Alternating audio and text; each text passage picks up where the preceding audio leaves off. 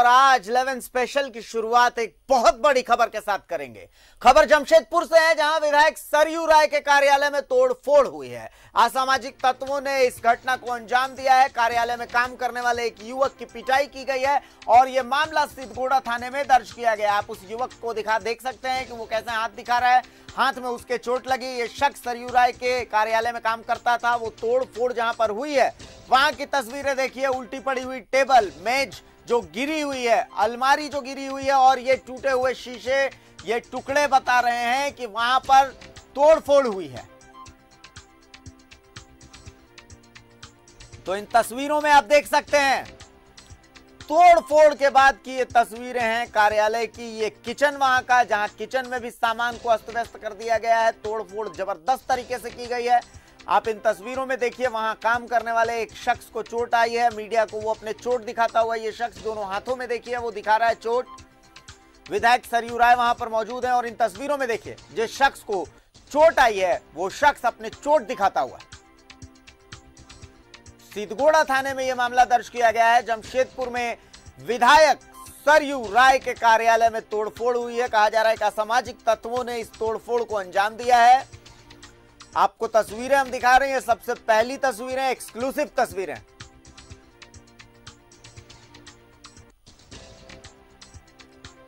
तो ये एक्सक्लूसिव तस्वीरें आप देखिए।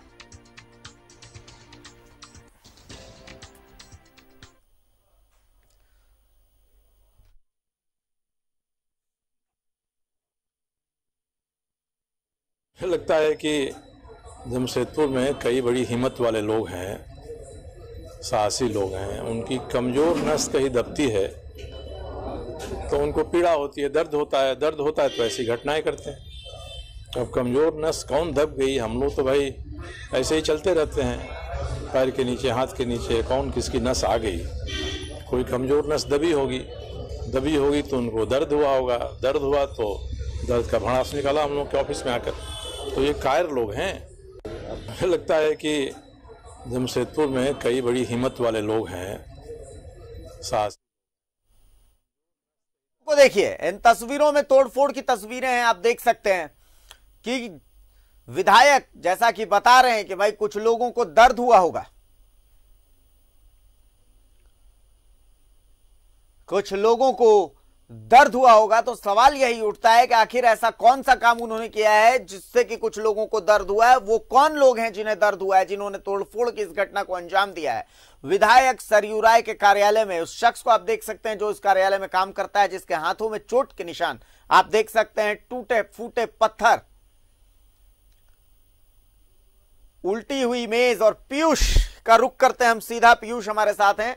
पीयूष, आप घटना स्थल पर हैं। फ़िलहाल क्या कुछ चल रहा है? विधायक सरयू राय कह रहे हैं कि भाई वो ऐसे काम करते हैं जिससे कईयों को दर्द होता है और उसी दर्द का एक साइड इफ़ेक्ट के रूप में ये देखा जा सकता है। तो पीयूष अब समझने की कोशिश करेंगे कि फ़िलहाल अगर पुलिस वहाँ पर मौजूद है तो क्या कुछ कह रही है? कौन लोग थे जिन्होंने इस तोड़फोड़ की घटना को अंजाम दिया है? पीयूष।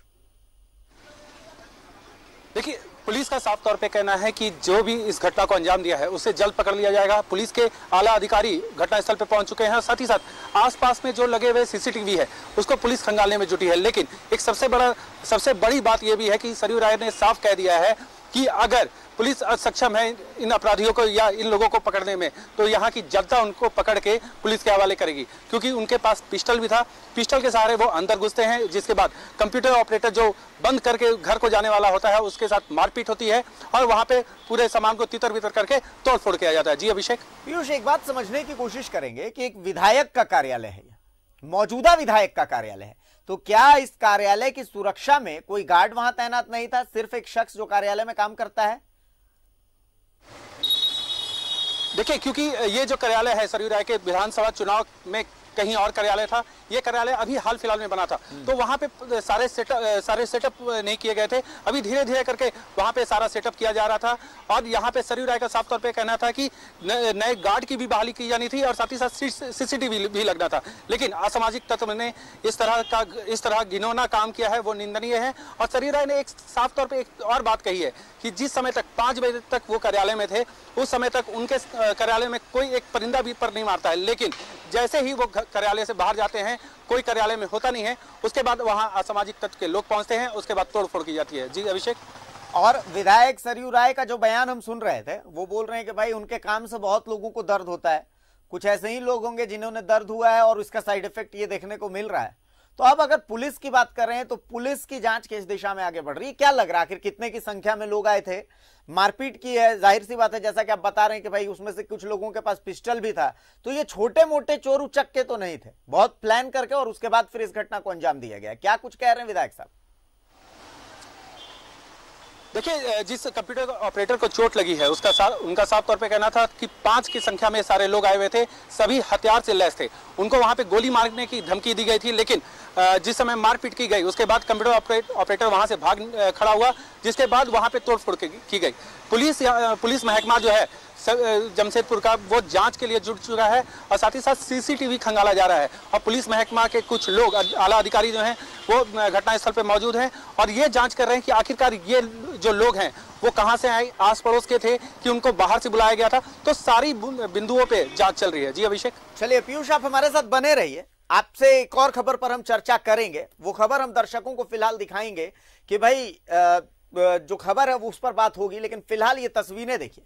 ये तस्वीरें विधायक सरयू राय, जो कंप्यूटर ऑपरेटर है उससे बातचीत करते हुए, सारा माजरा समझते हुए, फ़िलहाल पुलिस जाँच कर रही चूँकि एक विधायक के कार्यालय पर अगर इस तरीके का घटना होती है तो ये एक बहुत बड़ा सवाल खड़ा होता है कि भाई, अगर विधायक के कार्यालय पर इस तरीके से दिन दहाड़े अगर हमला हो जा रहा है तो आम लोगों का क्या होगा? इस मामले में पुलिस को त्वरित तौर पर संज्ञान लेते हुए और जल्द से जल्द जो अपराधी हैं, चाहे वो सीसीटीवी फुटेज के सहारे या प्रत्यक्षदर्शियों के सहारे, किसी भी तरीके से, पर कार्रवाई ज़रूर करनी चाहिए। पुलिस को एक एग्ज़ाम्पल सेट करना चाहिए कि अपराध जो है, अगर कोई करता है तो उसे बख्शा नहीं जाएगा।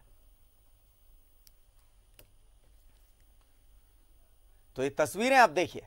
ये सरयू राय के उस कार्यालय की तस्वीरें जहाँ तोड़फोड़ हुई हैं। विधायक सरयू राय चोट देखते हुए उस शख्स की जो उस वक्त कार्यालय में मौजूद था, अमित, कंप्यूटर ऑपरेटर।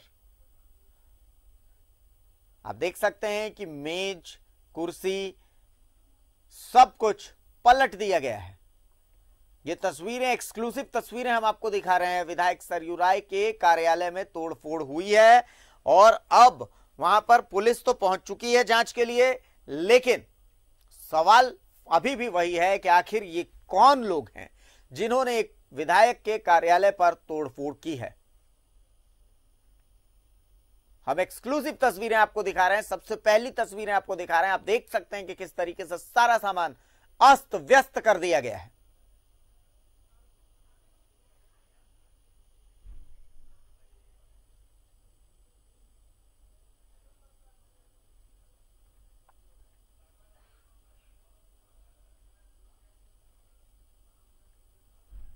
तो इन तस्वीरों को देखिए, ये एक्सक्लूसिव तस्वीरें जमशेदपुर की। जहाँ पर विधायक सरयू राय के कार्यालय में तोड़फोड़ हुई है। मुझे लगता है कि जमशेदपुर में कई बड़ी हिम्मत वाले लोग हैं, साहसी लोग हैं। उनकी कमज़ोर नस कहीं दबती है तो उनको पीड़ा होती है, दर्द होता है, दर्द होता है तो ऐसी घटनाएँ करते हैं। अब कमज़ोर नस कौन दब गई? हम लोग तो भाई ऐसे ही चलते रहते हैं। पैर के नीचे, हाथ के नीचे, कौन किसकी नस आ गई? कोई कमज़ोर नस दबी होगी। दबी होगी तो उनको दर्द हुआ होगा। दर्द हुआ तो दर्द का भड़ास निकाला हम लोग के ऑफ़िस में आकर। तो ये कायर लोग हैं। लगता है कि जमशेदपुर में कई बड़ी